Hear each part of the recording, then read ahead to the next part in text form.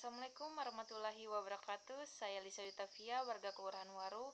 Dalam rangka menjaga kondusivitas di Kabupaten Penajam Pasir Utara, dengan ini menyatakan sikap sebagai berikut. 1. Sepakat untuk anti terhadap berita hoaks. 2. Menolak berita hoaks karena dapat merusak kerukunan antar umat beragama dan dapat memecah belah persatuan dan kesatuan bangsa. 3. Mengajak masyarakat untuk tidak mudah terprovokasi oleh berita hoaks yang menyesatkan. 4. Mendukung pelaksanaan pilkada damai. Mari kita lawan berita hoaks agar daerah kita tetap kondusif.